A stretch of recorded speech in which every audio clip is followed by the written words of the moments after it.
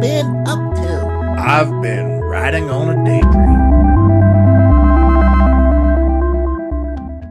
Hey YouTube, thanks for checking out RV Daydream. And today I'm going to start a couple of installations and reviews on some products that we've picked up for our camper. Uh, I'm going to do separate videos on each, just in case you don't want to see one of the items that I'm doing the work on. Right now, what this video is going to be is on my trailer plug on the camper, the replacement to put a new end on it and I'm going to show you what that looks like. So let's get up close and personal. I kind of set up a little workstation for this thing, and I'm going to get the camera kind of close. But you can see how there's a couple of terminals in here that are bigger than the rest. Uh, these four that I'm trying to point to, uh, those are smaller, and these big ones are more critical. And you can see this big one here is just shot. It's gone. It's deteriorated past its use. I can kind of get it to connect, but not very well. So it's time to replace this. Unfortunately, this has never been replaced and it's molded to the cable itself. As you can see here, this is a Bargman. It says number six. I don't know if that means anything, but I'm going to be replacing it with a CURT brand. I'm going to put the link down below for this one so you can follow along and the installation will be just the same as what mine is, but it's a part number 58140. So let's go ahead and jump into it and see what it's going to take. First, I'm going to have to cut that old end off. And you can see what it looks like here, uh, all nice and neat. Um, I just went ahead and used a cut-off tool to cut that off. Then I'm going to peel back the casing a little bit and uh, I'm going to open this up. I'm going to peel it back a little bit further so these wires can spread out and be connected to the correct terminals that's on the new plug. Okay, so what you do is you uh, loosen this screw right here. It's just a little tiny screw and then that will allow this piece here you can see it's kind of got to stop. That screw will once retracted allow this to come out of the end of the plug. You're going to slide the wires into this big receptacle here. This has to be loosened to allow that to happen though because this tightens down the boot that cinches the wires or pinches the wires once they're in place. Okay I went ahead and pulled apart the connector and there's colors that are marked on here and where they go.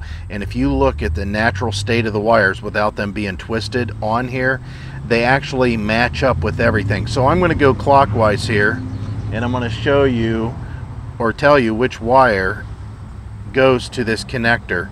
And it's because it's marked here it matches up. So we'll go ahead and start with this top wire. It's a black wire and it's a thick wire. So it's black and then green to the uh, again clockwise position so to your right. And then we have red another big wire which is white. Then we have blue and then we have brown and then in the middle is yellow. And that's exactly what's on this connector here. So what I'm going to do at this point is go ahead and take some of this off of these wires to put some bare wire in the picture and then I will loosen this connector up with a Phillips screwdriver so I can slide that bare wire inside and then tighten it down.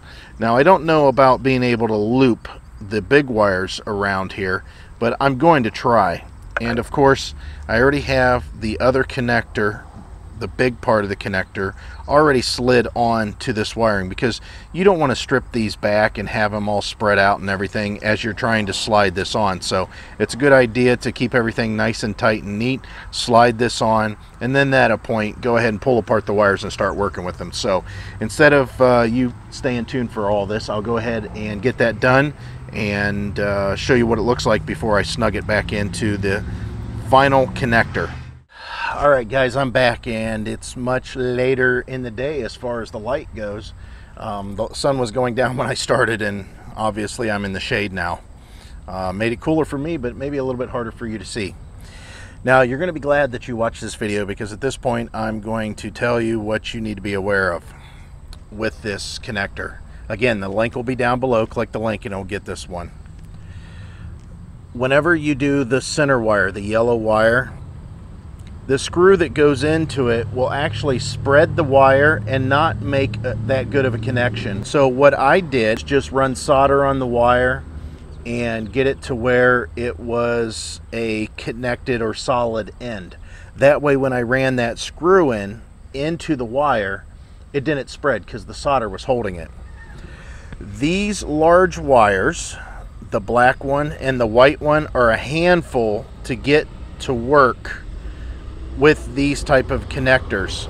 In my case, those wires are larger than all the rest and they don't really accommodate the larger wire with a bigger screw or a bigger connector or anything like that.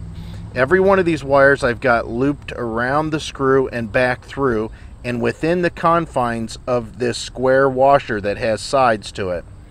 Whenever you're tightening them down, you'll need a pair of pliers or a wrench or something, uh, vice grips that are the same size as this square.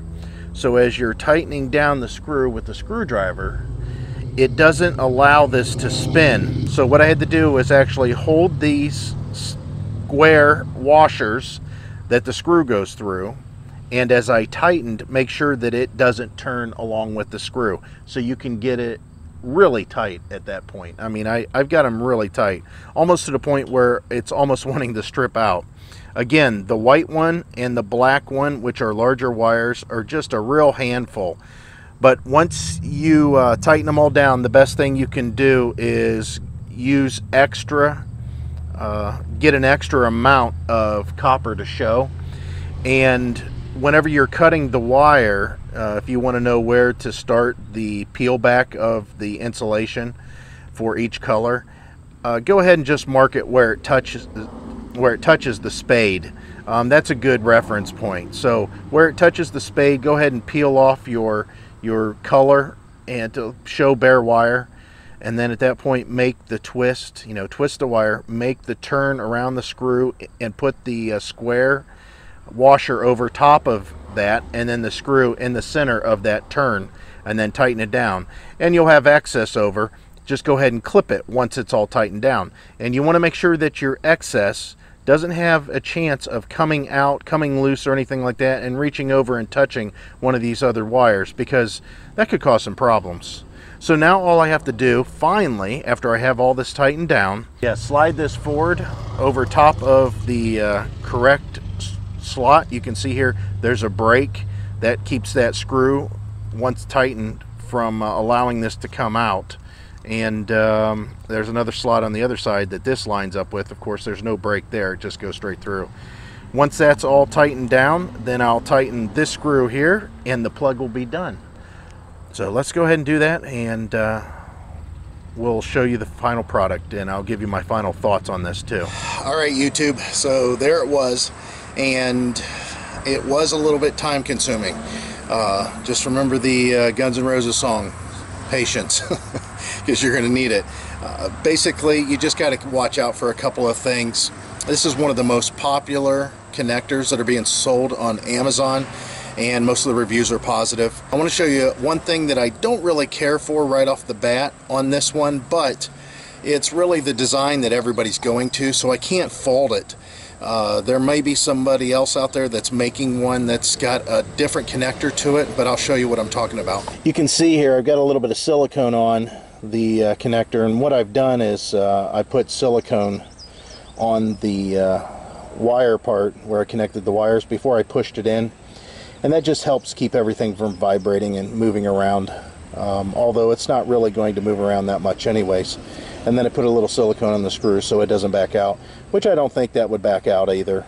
But I just think this will make it a little bit better waterproof just slightly.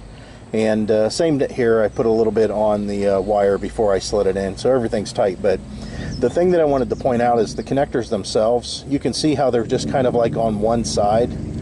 And the old one uh, had to where the connectors were like pinching the blades that were on the truck. Now, were they actually connecting any better? I don't know. There is more surface area here on the one side, but the other ones, although they were smaller, they had two surface areas uh, to go on either side of the plug. Those plugs that are on the vehicles now, they're kind of like a folded over piece of spring steel and what it does is the connector slides on and that part that is on the plug itself it will rub along the sprung side and that's how it gets its connection uh, the old one had kind of like a, uh, a pincher style that would clip over it um, again, that's just apples and oranges. I don't know if one's better than the other, but it's done and it's finished. So that's how you connect your plug to your wire from your camper from the factory.